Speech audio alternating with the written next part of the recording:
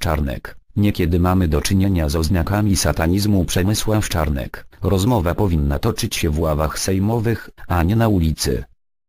Rozmowa powinna toczyć się w ławach sejmowych, a nie na ulicy, poprzez niszczenie kościołów, zakłócanie mszy świętego, uniemożliwianie innym osobom korzystania z ich wolności konstytucyjnych, w tym wolności religijnej, powiedział we wtorek minister edukacji i nauki Przemysław Czarnek.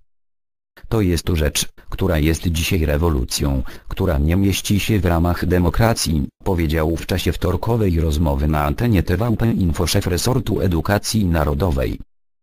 Podkreślił, że co się obecnie dzieje, jest zamachem na Polskę taką, jaką znamy od wieków, jaką kształtowali nasi przodkowie w pocie czoła, oddając swoje życie, składając je za jej wolność.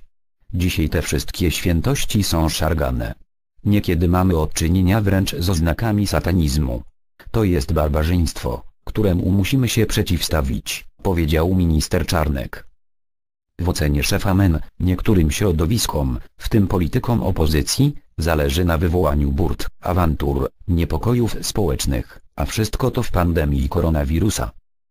Pytany o poziom debaty sejmowej wokół orzeczenia Trybunału Konstytucyjnego sprawie przepisu ustawy z 1993 rok zezwalającej na dopuszczalność aborcji w przypadku dużego prawdopodobieństwa ciężkiego i nieodwracalnego upośledzenia płodu albo nieuleczalnej choroby zagrażającej jego życiu. Minister Czarnek powiedział, że posiedzenie Sejmu trochę było podobne do tego, co w roku 2016.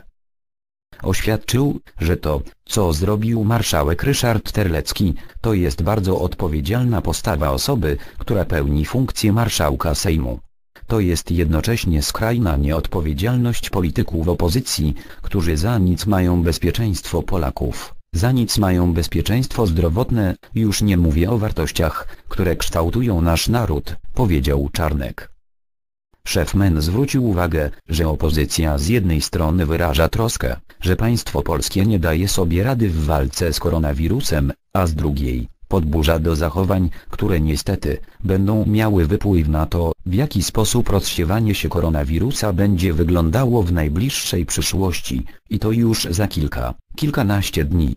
To będzie miało wpływ na nas wszystkich, również na tych, którzy są teraz w domach, podkreślił Czarnek.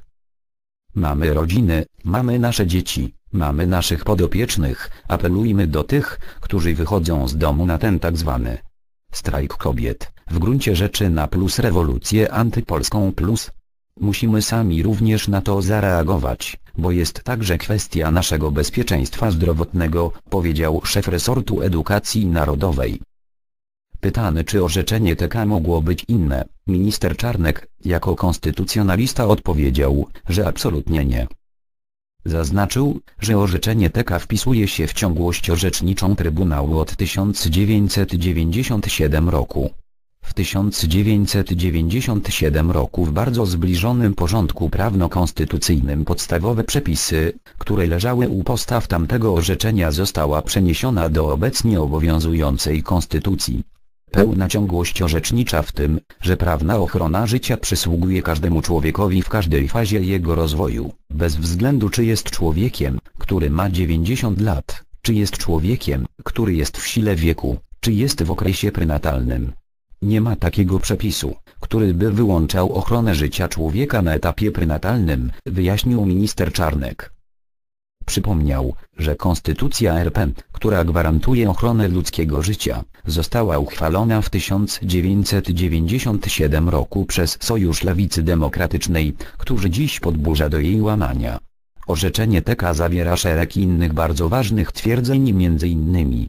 To, że państwo polskie musi zadbać, zatroszczyć się o osoby niepełnosprawne, zwrócił uwagę szef MEN.